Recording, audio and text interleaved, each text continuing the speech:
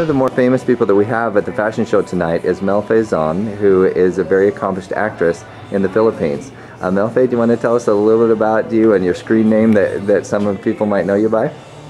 Okay, um, Filipino knows me as uh, Klaudia Koronell, but my real name is Mel Zhang. I'm doing some movies in the Philippines, uh, any kind, like comedy, drama, action, so, and then um, people wondering why I'm here in Arizona. Because I'm married to a Chinese guy living here in Arizona, and because I'm a, I'm a but back then in, in the Philippines, I'm an actress.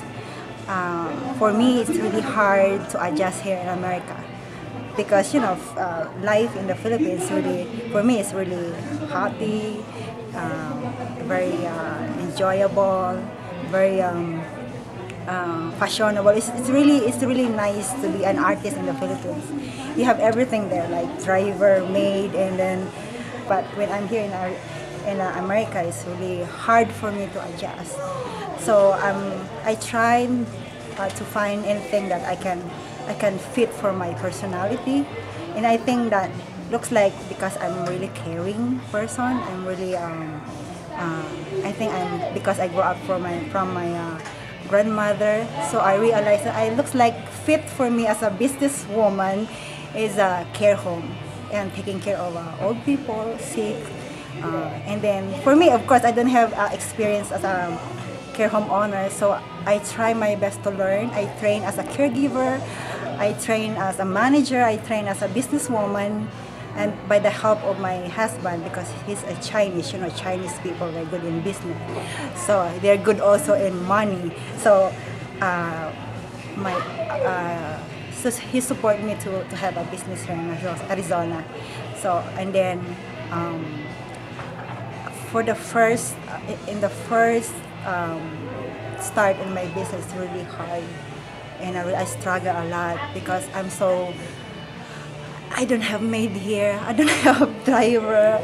I don't know how to do anything. So because you're in Arizona, you have to wash the dishes, you have to clean the house, everything. So I learned from that, and then slowly, slowly, I learned uh, everything, and then and then now I can adjust. I can even taking care. I can even uh, work in the house. I, I become organized, and I and then my my, my uh, really my family back then in the Philippines really amazed changed me a lot. It's really helped me. America has really helped me a lot to change my personality. So now I'm doing a care home business and I'm doing um, of course uh, if you're doing a care home business you know uh, you know how to face the people like nurse. You have to entertain the family of the patient. You have to um, uh, you know how to talk to the doctor, you know how to be, uh, um, you know, when it comes to paperwork. So everything is in there, like you become secretary, you become boss, you become caregiver. So this, these things really uh, uh, changed me a lot, especially my personality. As a businesswoman. all the way from actress to a very strong businesswoman. Uh, and of course, anyone who does have uh, parents or know of people who have parents who need uh, both medical and non-medical health care, then uh, feel free to, to uh, get in touch with her after this video. But thank you for a heartfelt uh, sharing. Appreciate it very much.